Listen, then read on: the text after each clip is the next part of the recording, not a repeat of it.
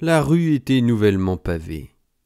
Dès que nous fûmes devant notre grille, j'ai envoyé la concierge chercher Parapine dans sa chambre en vitesse. Il est descendu tout de suite et c'est avec lui et un infirmier que nous avons pu monter Léon jusque dans son lit. Une fois déshabillé, on a pu l'examiner et tâter la paroi du ventre. Elle été déjà bien tendue, la paroi, sous les doigts, à la palpation et même mate par endroits.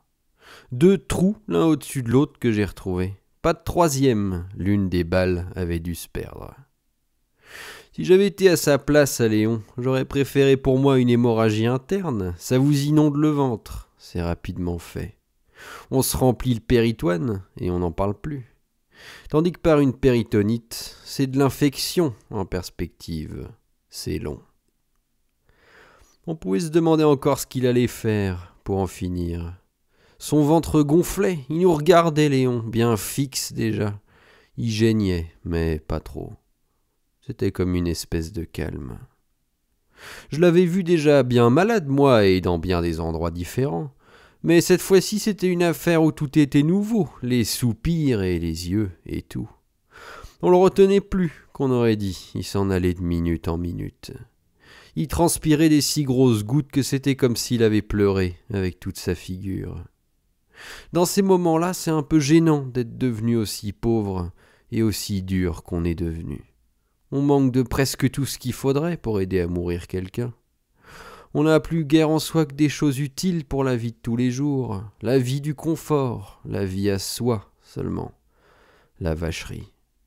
On a perdu la confiance en route.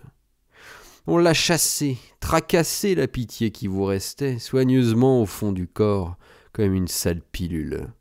On l'a poussé, la pitié, au bout de l'intestin, avec la merde. Elle est bien là, qu'on se dit. Et je restais devant Léon pour compatir, et jamais j'avais été aussi gêné. J'y arrivais pas, il me trouvait pas, il en bavait. Il devait chercher un autre Ferdinand, bien plus grand que moi, bien sûr, pour mourir, pour l'aider à mourir plutôt, plus doucement. Il faisait des efforts pour se rendre compte si des fois le monde n'aurait pas fait des progrès. Il faisait l'inventaire, le grand malheureux, dans sa conscience. S'ils n'avaient pas changé un peu, les hommes, en mieux, pendant qu'il avait vécu, lui, s'il n'avait pas été des fois injuste sans le vouloir envers eux. Mais avec moi, bien moi, moi tout seul, à côté de lui. Un Ferdinand bien véritable auquel il manquait ce qui ferait un homme plus grand que sa simple vie. L'amour, de la vie des autres. De ça, j'en avais pas, ou vraiment si peu que c'était pas la peine de le montrer. J'étais pas grand comme la mort, moi. J'étais bien plus petit. J'avais pas la grande idée humaine, moi. J'aurais même, je crois, senti plus facilement du chagrin pour un chien en train de crever que pour lui, Robinson.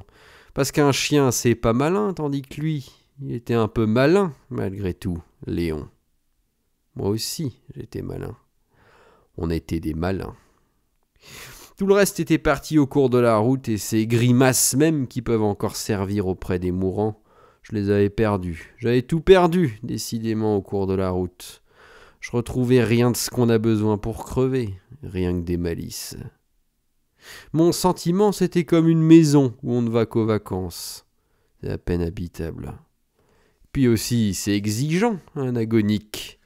Agoniser ne suffit pas, il faut jouir en même temps qu'on crève, avec les derniers hoquets, il faut jouir encore, tout en bas de la vie, avec de l'urée plein les artères. Ils pleurnichent encore parce qu'ils jouissent plus assez, les mourants. Ils réclament, ils protestent.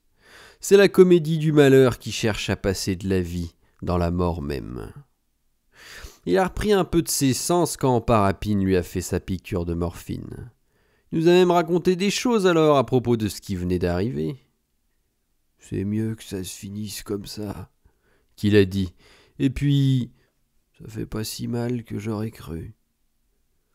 Lorsque Parapine lui a demandé à quel endroit qu'il souffrait exactement, on voyait bien qu'il était déjà un peu parti, mais aussi qu'il tenait malgré tout à nous dire encore des choses.